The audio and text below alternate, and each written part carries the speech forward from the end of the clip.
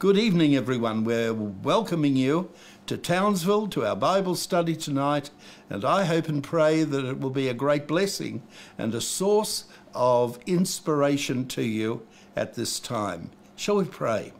Father, we just ask you to take that little that we have, and Lord, do what you did when that little boy brought those loaves and fishes. You expanded, you developed, and you increased his gift. We give the little we have to you tonight. We thank you for those that are poised and ready and hungry to know the Word of God. And we ask you that the Holy Spirit will be so real to each and every one of us. We're reliant upon your power. We're reliant upon your grace.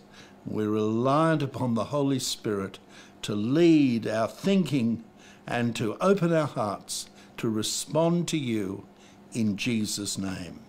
Amen. Well, the uh, theme is the naked Jew. And what does that mean? What does that signify? Well, we turn to the 34th chapter of Ezekiel, and there we have the answer. My sheep, says God, wandered through all the mountains and on every high hill. All the flock was scattered over the whole face of the earth, and no one was seeking or searching for them. Therefore, you shepherds, hear the word of the Lord. As I live, says the Lord God, surely my flock became a prey, and my flock became food for every beast of the field. Because there was no shepherd, nor did my shepherds search for my flock. But the shepherds fed themselves and did not feed my flock. So we have it in verse 6 and verse 5 before it that they were scattered, they became food for all the beasts of the field, and as a result, wandered. And that's where we get the often repeated phrase, the wandering Jew. From nation to nation, from region to region, the Jew wandered for 2,000 years. From AD 70 to the present day, they are scattered throughout all the nations of the earth. But there's a difference. Over the last few decades, God has been doing a wonderful thing.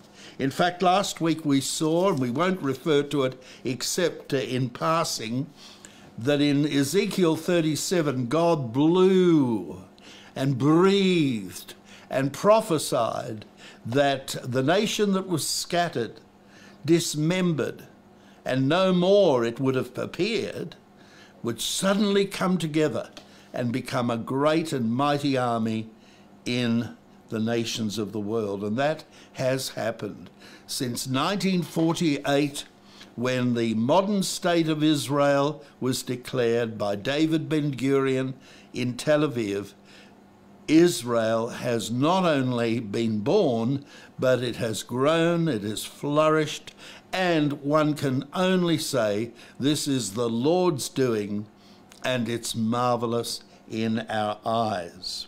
Now we have a number of scriptures that we're going to refer to. Did you notice that sad scripture there that says, uh, and I hate even reading of it, no one was seeking or searching for them. In the last terrible pogrom called the Holocaust, the terrible Shoah, the burning that came upon Israel scattered at that time in occupied Europe, very few people stood up and were brave enough to defend and to take into their homes, to hide, to protect those hapless Jews in uh, the various countries where Hitler's armies were just mowing them down, taking them to death camps.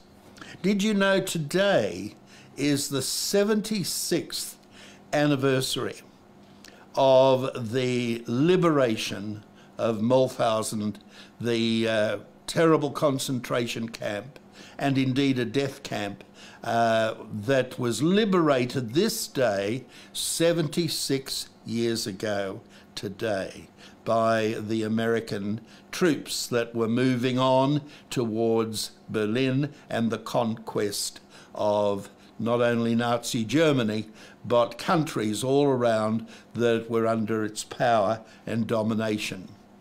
And we remember very, very quietly and sadly the uh, terrible things that had occurred there the great uh, quarry, the steep steps, the cruelty. And that, of course, was repeated time and time and time again. All because, by and large, there were few that would stand up and say, enough is enough. In fact, when we turn to the 42nd chapter of Isaiah, we read these words of Israel This is a people robbed and plundered, and we know that for sure. Uh, that indeed they were robbed and plundered of all their worldly goods in occupied Europe and of them are snared in holes. They are hidden in prison houses.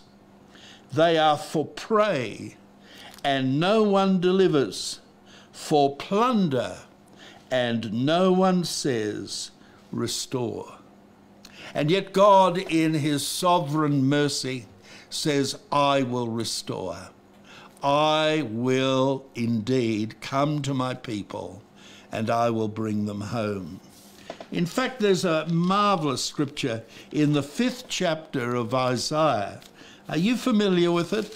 I just, I'm just amazed about it. It says here, speaking of the end times, um, the anger of the Lord is aroused against his people. He has stretched out his hand against them, stricken them, and the hills trembled.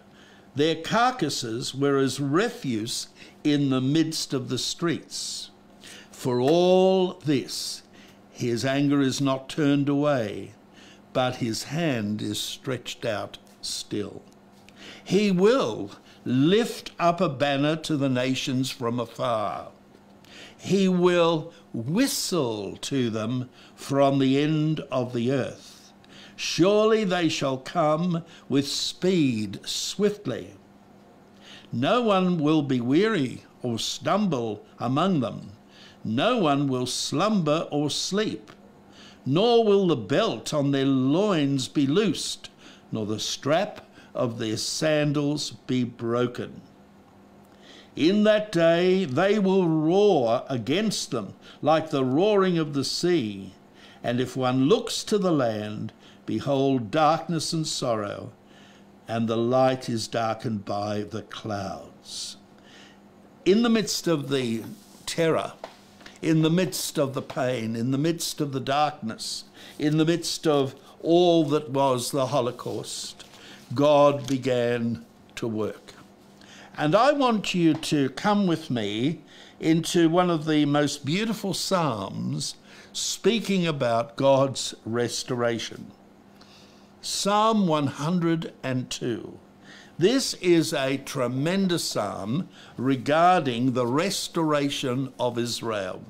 It is also a second coming psalm, and we'll get to that in a moment. When we look at God's dealing with his people Israel, the Apostle Paul says very clearly in Corinthians that these are types and these are wonderful indicators that what God has done for his people Israel, he will also do for his church. And of course, Jesus said to his disciples, I will never leave you nor forsake you. Now, we know that all around the world, even today, we know of the great persecution that is going on in the world. And of course, even in uh, lackadaisical uh, Australia, there is mounting opposition to the evangelical, the Bible believing, and the spirit filled church. Very few people care much about the dead church and the formalistic church. That's just disregarded as being of no consequence.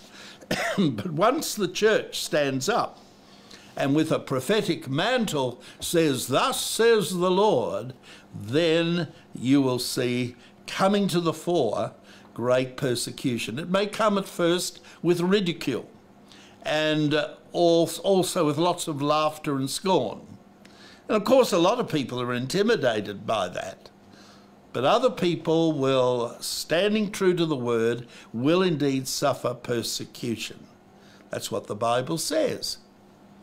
We had a marvelous speaker at our church on Sunday, on the Lord's Day, and uh, he spoke wonderfully about how he was humbled in his heart, challenged to his very core when he saw that the church is growing massively in three places in the world today. The first is Afghanistan, the second is Iran, and the third, would you believe this, is North Korea. Every one of those nations is under terrific persecution if you're a Christian.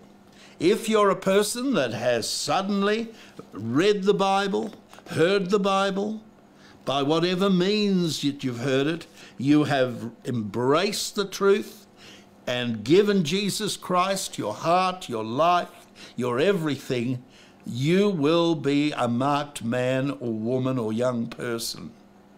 And in spite of martyrdom, in spite of imprisonment, in spite of privation and persecution, the churches in these places are going from strength to strength. In the 1980s, 1986, I had the privilege and an honour that God gave me, and a friend of mine as well, to go into the then communist countries, places like Yugoslavia, Romania, Hungary, and then we went into Russia and, of course, into Ukraine. And there were degrees of persecution in those countries. There didn't seem to be great persecution in Russia, in the Moscow region, but it depended where you went, what region. But in Ukraine, there was monitoring. We were followed time and time again. On numerous occasions, we were talked to by people we knew were secret agents or KGB uh, emissaries. We knew that. And yet the glow in the hearts and the countenance of the people of God was breathtaking. I remember sitting on the flight that was to take us from Moscow to Tokyo on our journey home and sinking into my seat and thinking about all the weeks that had gone before, people we'd met, pastors we'd fellowship with. And I thought to myself, this is absolutely amazing. Wherever there was persecution, there was a greater degree of commitment and a great joy was in the hearts of the people.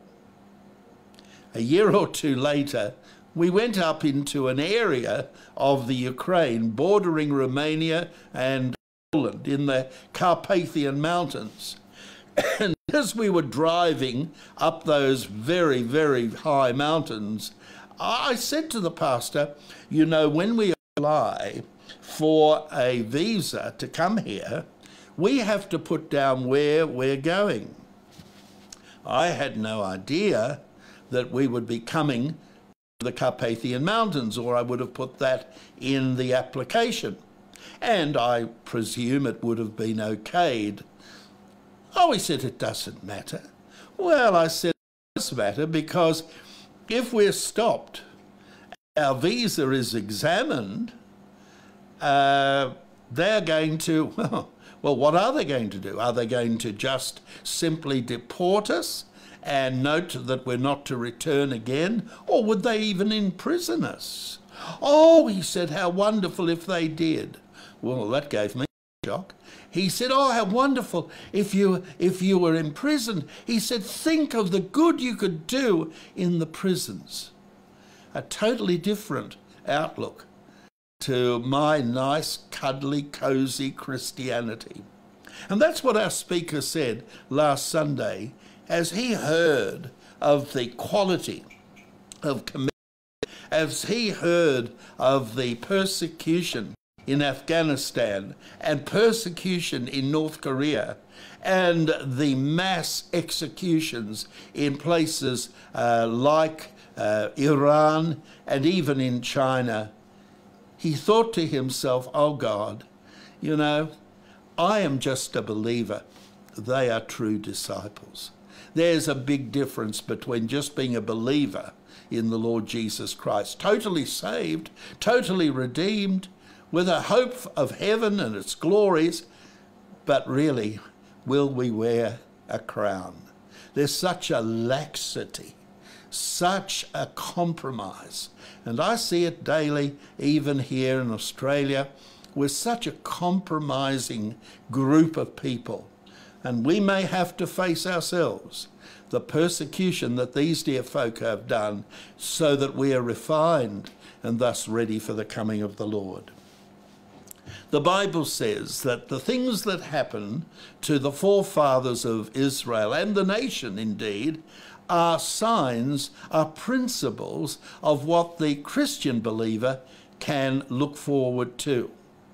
And you know, there are three things. We are trusting in His mercy every day. We're trusting in His mercy. And we dare not trifle with that mercy. You know, we so easily play games with God, bargain with Him. Ask God to look after us. Ask God to bless us. Ask God to just provide for us without any thought whatsoever of laying down our lives because we love Him and because that's an honour and that is a great and mighty, indeed, it is a great honour to do so. So uh, we are trusting in His mercy. And of course, we're trusting in His grace. And we're not to trifle with that mercy. We're not to presume upon it, but rather we are to triumph in his mercy. And that's indeed what believing Israel does. It trusts, doesn't trifle, doesn't look, uh, look to the left or the right, but rather looks straight on to serve the Lord, to serve the God of Israel, without flinching and without flaw. And God will reveal himself to his prepared people. Ezekiel chapter 36 says, prior to the coming of Jesus, he will sprinkle Israel with pure water. He will call them, according to Isaiah chapter 5, he will whistle for them. And Wait a moment. What's the difference between being called by God to come home to Israel and to be whistled? Aren't they one and the same? Well, you'd think so. And the end result, one has to say yes. The end result is they come home. But I want to tell you that there are two types of people that come back and make aliyah to Israel. There are the conscientious, observant Jews who know the law and the prophets, and they know what God has promised, what Ezekiel has promised, Isaiah, even Habakkuk, Zechariah, Zephaniah, the psalmists. They know that. Isaiah is enriched within their hearts. And on the basis of the call of God through the prophets, they make Aliyah. But then there's another group of those going home to Israel. And they are people that are not in the slightest bit observant in their faith. In fact, they don't have a faith. They are, in fact, secular Jews. And they come for many and varied reasons. Sometimes because of opportunism. Ah, oh, we'll be able to get a good job there and we'll be able to use our skills there and we'll be lapped up by the government and, and you know, we've got a greater future there. In other words, they feel they'll be a big fish in a small pond. Some have come, and quite understandably, they have come because they are persecuted or they fear persecution or they're sensible enough and have foresight and can see the rumblings on the horizon and the anti Semitism that is rising. And they say, aha, uh, things are going to hot up. It's not going to be comfortable. It's not going to be safe to be a Jew. They don't realize that God is whistling to them. When you whistle, unless there's a reminiscent uh, a tune with words, there is no words. It's just uh, an instinctive call that you hear. And I have very dear friends in Israel who are not observant. They are purely secular. In fact, uh, one dear friend of mine uh, was brought up by a very atheistic mother and father.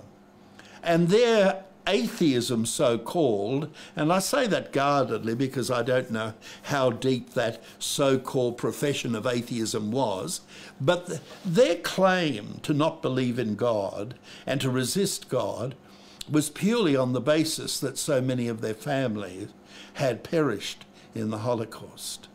They were European who had themselves come through, been saved and preserved and even protected by the minority of people in Holland that looked after them. And uh, when they came back to their home, they found that all of their family had been taken and murdered in the death camps. And that brought about a hatred in their hearts. And they got out of Europe and they went to South Africa. And there they set up a home and got employment and had a family. And then in South Africa, they said a most astounding thing to me. They said, suddenly, we just had sort of a, a whim. We were comfortable in South Africa. We were well provided for. We were not persecuted. There were no rumblings on the horizon that gave us any degree of fear that things would change. But somehow, some way, we just had to go to Israel. And so this family of four gathered up their belongings, sold off any property they had, and came back to Israel. When I say came back to Israel, they'd never been in Israel but they came as Israel back into the land. you see, the whistle of God had caught their attention. They weren't interested at all in the promises or the prophecies of the prophets, but they had this instinctive urge to come to Israel and to come home. Do you know there is no migration of Jews to Israel? That's a secular, that is a non Jewish phrase. You see, a Jew doesn't migrate to Israel. An Israeli comes back to his land. It's his land historically, fundamentally, foundationally. So he makes Aliyah. He comes up to Israel and Jerusalem. That is his homeland. He's actually coming home. I think about 1962, 1963, I think 1962. As a young person in our youth group, we were told that on one particular Saturday night there would be a guest speaker. And this man was going to speak about Israel. I was just uh, 16, I think. And I thought to myself, oh, well, that'll be interesting. And this man brought slides and movies and, and had literature. And, and he was a, a quiet speaker, but a profound one. And he began at the outset of his presentation, his name was Joseph Hunting. He began to speak to us about Israel in prophecy. And he began by reading the psalm that we're going to look at tonight Psalm 102. This, according to the preface of the psalm, is a prayer of the afflicted when he is overwhelmed and pours out his complaint before the Lord. That's the title A Prayer of an Overwhelmed Soul. Hear my prayer, O Lord, and let my cry come to you. Do not hide your face from me in the day of my trouble. Incline your ear to me in the day that I call. Answer me speedily. When you get to the third and go down to the seventh verse, it becomes very graphic. For my days are consumed like smoke, and my bones are burned like on a hearth. My heart is stricken and withered like grass, so that I forget to eat my bread. Because of the sound of my groaning, my bones cling to my skin. I am like a pelican of the wilderness, like an owl of the desert. I lie awake. I am like a sparrow alone on the housetop. Hmm. A pelican in the wilderness. you don't see a pelican in the wilderness normally. Why? Because you see a pelican by the rivers, the waterways, and the sea. Why? Because they feed on fish. But the pelican of Psalm 102 is a long way from the feeding grounds of the sea and the waterways and the rivers. He is there starving. And also, would you notice about the consumed bodies by fire and smoke? And my bones are burned like a hearth. Because of the sound of my groaning, my bones cling to my skin. This reminds me so much, so graphically, of the painful pictures that we see.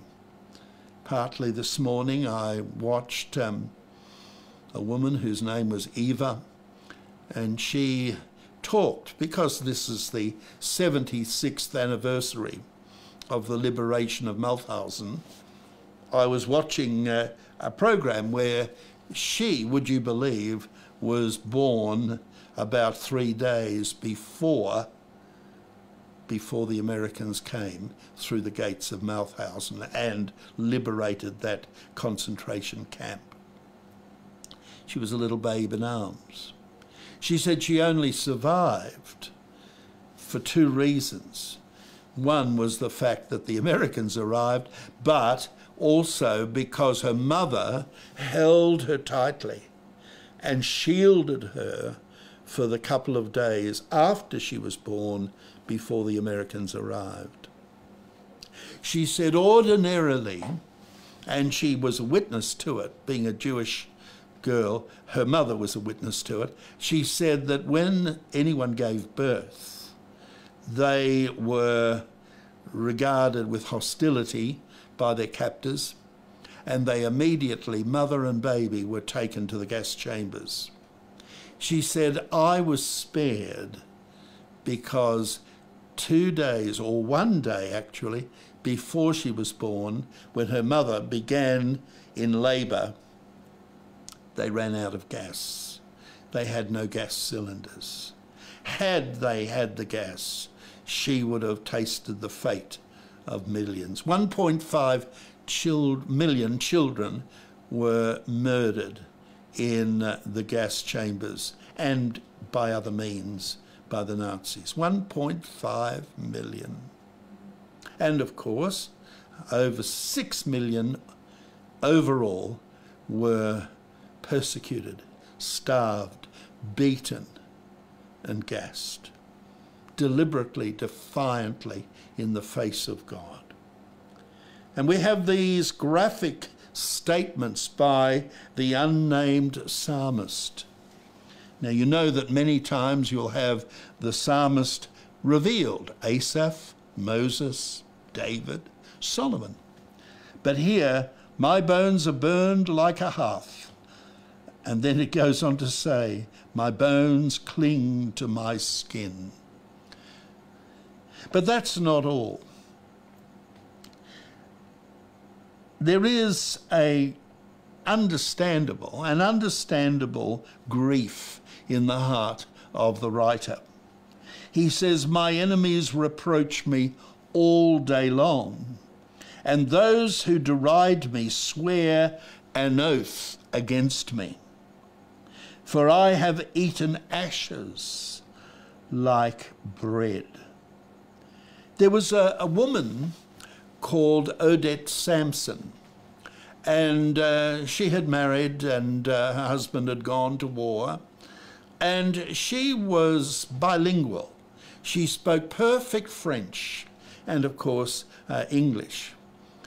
Somehow, some way, it came to the notice of the uh, special um, branch um, in, in London that this woman living in a rural area of uh, England was very, very patriotic and was fluent in French and, of course, spoke her native tongue, English. She'd lived for many years as a child in France.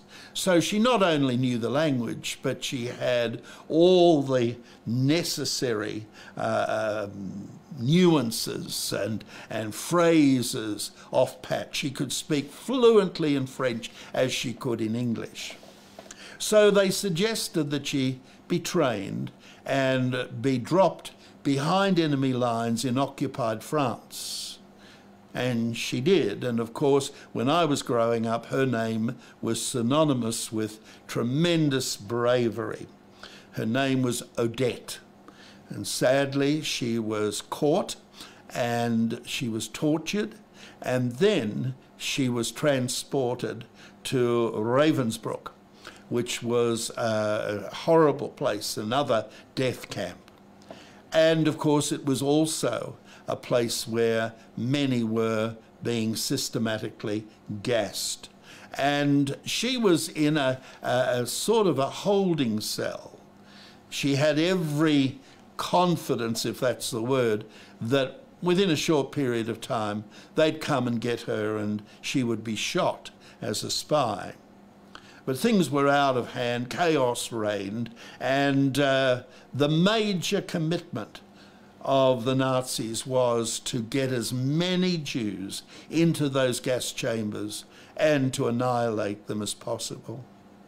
And as she was in her cell of isolation, day after day, she said now and again she would hear the cries and the shuffling of feet. And she looked out of her uh, lowered cell, which wasn't in a dungeon and it wasn't right underground, but it was uh, partially underground. And through the broken window and the bars of her cell, she looked out and she could just see the shuffling of the feet and the legs of those victims going to their deaths. And she said, night and day, night and day, she would look out and she would see, especially at night, the glow of the crematorium across the sky. And she said she would taste the ashes in her mouth.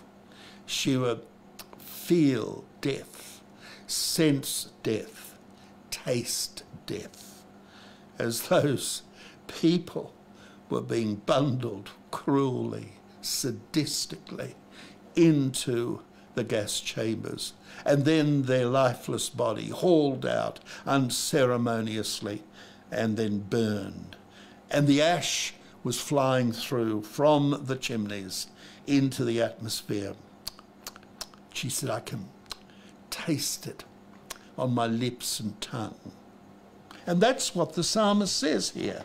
He says these very, very words I have eaten ashes like bread and mingled my drink with weeping. Now he's speaking as a Jewish person. Because of your indignation and your wrath, you have lifted me up and thrown me to the ground. Now that's how many Jewish folk have felt. ICEJ is the International Christian Embassy in Jerusalem. It has a remarkable ministry for and toward the Holocaust survivors. And uh, in Haifa, they have something like six or seven beautiful rooming houses. They're, they're apartment blocks. And each and every one of them is given to uh, the nursing. They're like nursing homes. They're places of refuge for people now in their late 80s, 90s, even over 100. And there they are nursed and there they are loved in the name of Yeshua. And they are being ministered to. And if you ever get a chance to go to Haifa, and you come up from the seaport towards the uh, Baha'i temple, you will find in that region these places. Do ring ahead and make an appointment, and please, please, financially support this wonderful ministry. But when they are ministering to them, as you will find throughout Israel and in Jewish communities around the world, you will find those that feel just as the psalmist You have lifted me up and cast me away, and my days are like a shadow that lengthens, and I wither away like grass. There was a remarkable historic uh, documentary series, oh, well over 40 years ago, called The World at War. Be a bit archaic now, I suppose. It was narrated by Sir Laurence Olivier. And when it came to highlighting the desperate plight of the Jew, he mentions that an eyewitness saw a rabbi going to his death with his hands raised in the spirit of this psalm and the spirit of the psalmist. Why? Why? Why? Why? Cast us off and cast us to the ground. Why? Why? And I know that it's easy in, in comfort and security, and especially as a Gentile, to be able to sit back and, and almost uh, say, in a, a, very, very cool and collected way. Well, of course, you know, God turned up and, you know, turned it around. But if it was your parent, if it was your brother, if it was your child thrown into the gas chamber, wouldn't you ask why? Of course you would. And so there is needed wisdom and compassion, tenderness and grace, and the Spirit of God to be able to correctly minister to the questioning Jew. But there's a but. but there is a but. There is a hinge to this psalm, and it's found here in verse 12. My days are a shadow that lengthens, and I wither away like grass. Verse 11. But verse 12. But you, O Lord, shall endure forever, and the remembrance of your name to all generations. You will arise and have mercy on Zion for the time to favor her.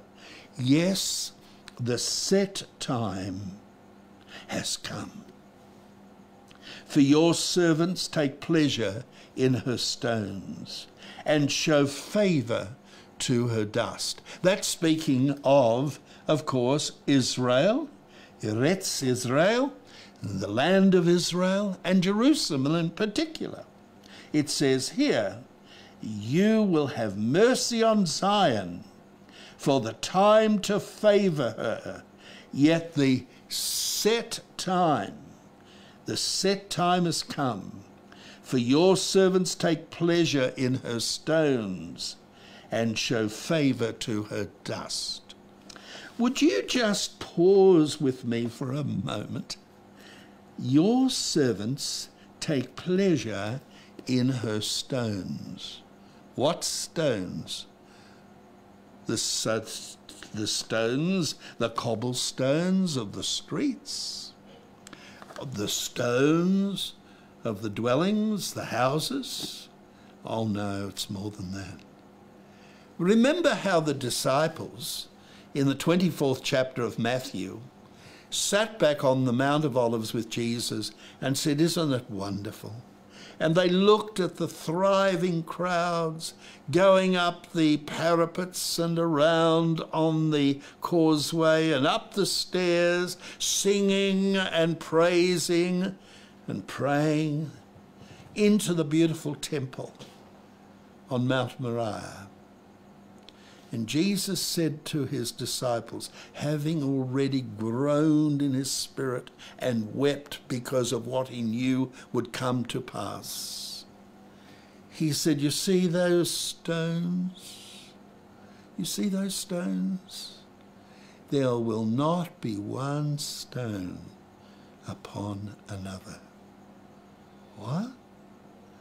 He was talking about the tremendous battle that would take place in AD 70 and the razing of the temple and its destruction and the scattering of the stones.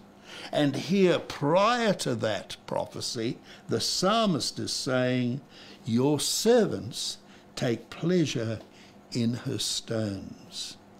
And even though they were scattered to a hundred or more nations of the world, at places and times of greeting and festivals, at the time of Passover, at the time of the festivals of Pentecost, when they gathered in their homes, be it Europe or even Asia or parts of Africa, or in the Americas or even Australia, they would, as they farewelled their friends or came to the end of their celebration, they would say, Next year in Jerusalem. Next year in Jerusalem. They took pleasure in her stones. And he says, and they show favor to her dust. And then it goes on to say, and this is amazing so the nations shall fear the name of the Lord, and all the kings of the earth your glory. For the Lord shall build up Zion, and he shall appear in his glory. I think that's staggering. That got me when I was about 16 in the early part of 1966. I thought, oh, I see it. I see it. that when the Lord rebuilds Zion, earthly Zion, restores Israel, when the modern state of Israel is declared and becomes a reality, that is the overture, that is the drum roll, that is the certainty of the Lord's return. He says here, For the Lord shall build up Zion and appear in his glory. And that dear rabbi crying on the way to the crematorium and the gas chamber. Beaten, weakened, tormented, hated and scorned, and condemned to die. God has regarded the prayer of the destitute and shall not despise their prayer. Why have you forsaken me? Why have you cast me aside? You picked me up as a nation and proclaimed that I am the delight of your heart and cast me to the ground. You see, that's the spirit. That's what is felt. That is the philosophy of a broken heart and a dismembered hope. And then the Bible says, and this is the key, verse 18, Psalm 102 this will be written for the generation to come. You see, it wasn't the immediate, it wasn't the foreseeable, it was of a time way ahead that even the psalmist didn't know. This will be written for the generation to come, that a people yet to be created may praise the Lord. Now, they're not quite, as a nation, they're not quite there yet. But we do know that there is a day coming when every eye will see him. Every tongue will confess Yeshua is Lord to the glory of God the Father. For he looked down from the height of his sanctuary. From heaven the Lord viewed the earth to hear the groaning of the prisoner, to loose those appointed to death, to declare the name of the Lord in Zion and his praise in Jerusalem. And when the peoples are gathered together and the kingdoms to serve the Lord. It's unmistakable, isn't it? It's unmistakable. The return of Israel back into the land, the progressive working of the Spirit in cleansing, preparing, and then revealing their redemption in Messiah, in Yeshua, Oh, hallelujah. It's so wonderful here. The children of your servants, we close with this. The children of your servants, verse 28, will continue. Their descendants will be established before you. What Hitler decreed, what Nazism desired, worked towards deliberately, defiantly, with all the hatred that Satan could bring about in their hearts and minds, darkened as they were. And though six million innocent folk went to their deaths needlessly, criminally, sadistically, Israel will continue. Your servants will continue. And their descendants will be established before you. What do you think about that? I'd like to send a, a, greeting to Michael down in Melbourne, who was formerly a member of our church family. And of course, he is a man uh, renewed by the Spirit of God and lived for many years in Israel. And uh, of course, Peter, whose father, Peter's father, a dear, dear man, lay unconscious on the floor of Mauthausen as the Americans came in their jeeps through the gates. And little Ava, Ava, who later on married a British Jew who came and uh, she got to know him, and uh, she was born at the time of the arrival of the Americans.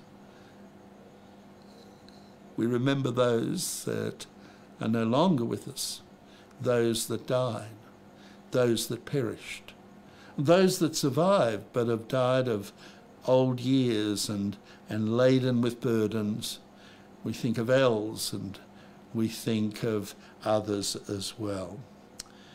And we just say, Lord, we don't understand everything. We're not glib and foolish and able to just uh, have glib answers. But one thing we know you have everything in the hollow of your hand and in the fullness of your heart. Do be with us next uh, Sunday when we live stream from the church. Uh, it's Mother's Day. And we will have a different kind of message. I feel it's uh, quite remarkable, might even shock, shock you, about the two women that God mightily used, one becoming a mother in Israel. Heavenly Father, we thank you for your goodness. Thank you for your faithfulness. And Lord, thank you for your mercy, without which we could not even survive, let alone live and thrive and bear fruit.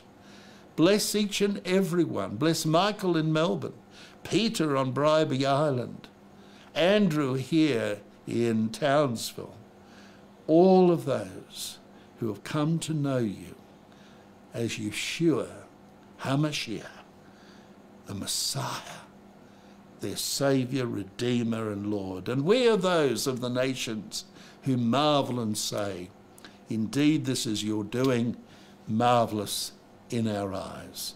Amen. God bless you. See you again next time.